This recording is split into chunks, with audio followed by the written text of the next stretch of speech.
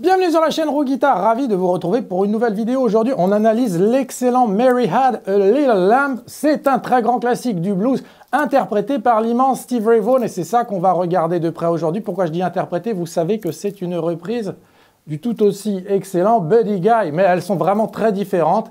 Et c'est vrai que la version de Stevie Ray, elle a une pêche, elle a une dynamique qu'on adore tous. Donc on va regarder ça de près. C'est parti.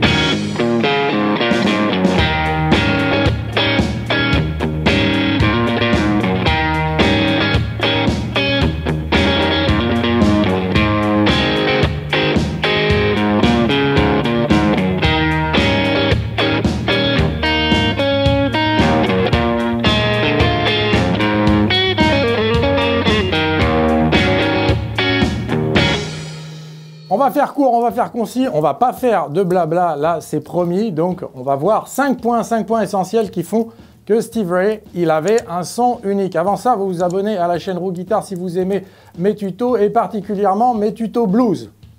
Commençons par le commencement, l'introduction. Et eh bien là où Buddy Guy le joue de manière un petit peu linéaire, Stevie Ray, lui, va rentrer vraiment beaucoup plus fort dans les cordes. Il va faire un espèce de palm muting, c'est-à-dire qu'avec sa main droite, eh bien, il va la poser un petit peu contre le chevalet pour avoir ce son très dynamique. Le pouce, côté manche, il va étouffer au départ la grosse corde, ce qui vous permet en fait de prendre un peu plus de risque quand vous rentrez. Vous allez pouvoir partir d'un petit peu plus loin et rentrer bien profond dans la corde.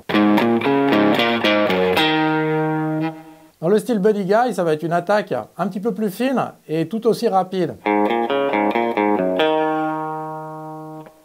Autre point qui rend la version de Stevie Ray absolument unique, c'est que lui, la section des cuivres, qui joue ses accords, lui, il va le faire à la guitare. Et au lieu de le faire de manière un petit peu prévisible et évidente, avec des accords sur six cordes,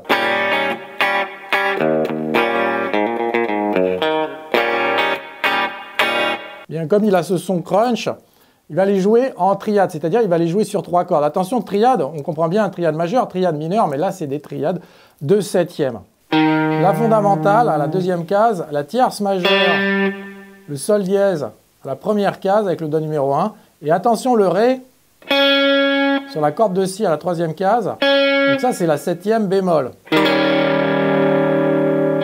Dans ce morceau, on entend totalement les deux plus grandes influences à la guitare de Stevie Ray. Et c'était vous le savez, Jimi Hendrix et le très grand Albert King. Donc c'était deux gauchers, hein, deux grands gauchers. D'ailleurs, euh, deux qui jouaient avec euh, des guitares de droitier.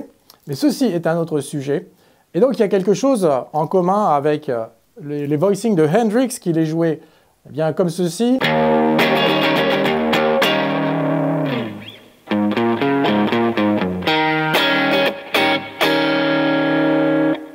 Point qui, à mon sens, fait que la version de Stevie Ray se détache véritablement de celle de Buddy Guy, eh bien, c'est le rythme. Bon, déjà, il y a ces contretemps qui sont omniprésents.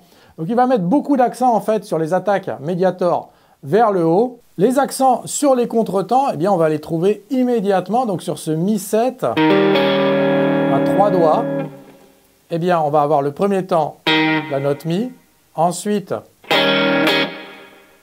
une croche pointée avec une double croche, c'est pas difficile à compter, c'est comme si vous aviez un groupe de quatre doubles croches et vous jouez simplement la première et la quatrième. Donc ça fait 1, 2, 3, 4, 1, 2, 3, 4, 1, 2, 3, 4. Ensuite, on a deux croches, là on va étouffer. Et ensuite, sur le et du 4. Donc ça fait 4. Lentement, ça va faire 1, 2, 3 et 4. Vous allez trouver beaucoup de palm muting, là où Buddy Guy va simplement se contenter, là encore, de jouer les notes de manière un petit peu linéaire.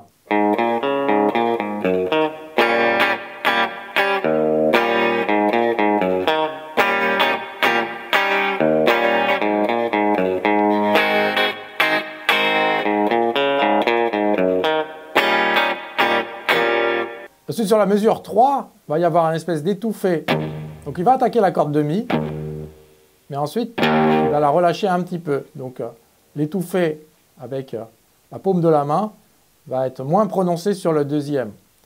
Personnellement, je vais faire deux attaques vers le bas sur ce groupe de croches. Il va remplir ça avec des doubles croches.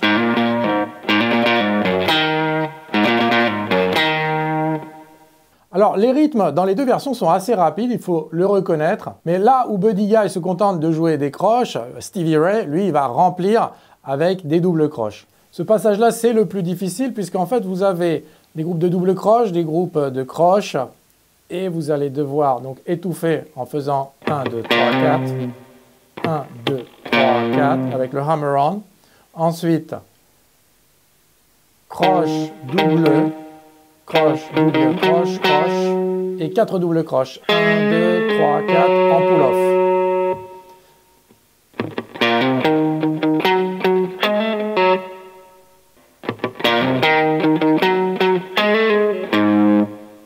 Le son, c'est évidemment la première chose eh bien, qui vient à l'esprit quand on parle de Stevie Ray, c'est ce son unique.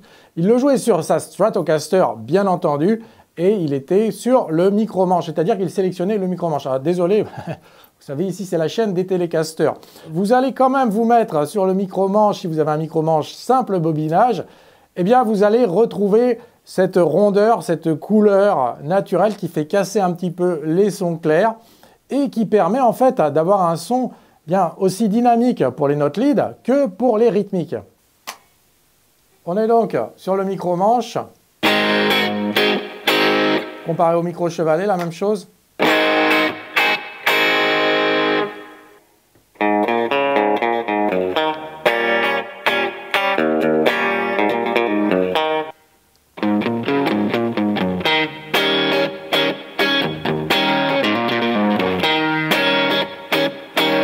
Il était accordé également un demi-ton plus bas. Et les cordes, quand on joue accordé un demi-ton plus bas, elles sont beaucoup plus souples, elles sont beaucoup plus faciles à tirer, donc on obtient des bends beaucoup plus organiques. Quand on est accordé un demi-ton plus bas, eh bien ça va bender naturellement les cordes. Quand vous appuyez, en fait, ça va donner un son un petit peu comme ça, bluesy.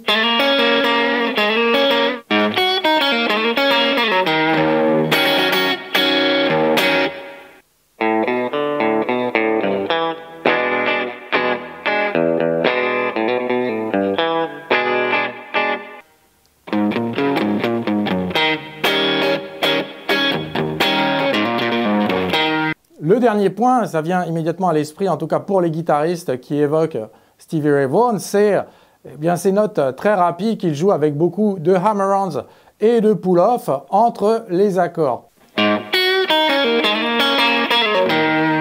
Vous allez faire légèrement, vous allez tirer légèrement la corde, mais pas trop parce que vous n'avez pas vraiment le temps. Pull-off, 3-0. Hein. Donc vous faites un slide assez long de la deuxième vers la quatrième. C'est pas grave si ça résonne. Et lui, en fait, il va brosser comme ça pour le retour. Donc il alterne véritablement les rythmiques avec les passages lead, mais comprenez-le bien, dans le blues, eh bien, tous les passages lead, en fait, sont de la rythmique déguisée. C'est pour ceci que cela fonctionne et c'est comme ceci que cela doit fonctionner.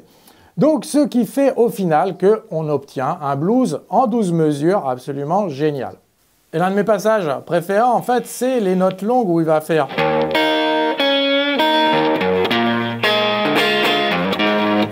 Donc ça en fait c'est euh, les, gros intervalles, la mi grave, la mi haute. Vous allez bender légèrement la troisième case, en fait c'est une noire donc vous pouvez la jouer lente. Ensuite, on reprend les basses, vraiment très beau, ça. Le 6-7. Vous allez reprendre une note haute. Donc, euh, le petit étouffé, en fait, c'est que vous allez simplement entendre la deuxième case et la deuxième case. Là encore, on descend une octave plus bas. Qu'est-ce que je dis? Deux octaves plus bas. Vraiment, la guitare dans tous ses états. Et enfin, la phrase magique. Et donc le dernier mi-7, en fait, très très rageux, on va, au lieu de le faire simplement comme ceci, On va le jouer à trois doigts, mais comme ceci, donc avec la troisième case, et étouffé entre en fait la corde de sol, on ne va pas l'entendre. 4.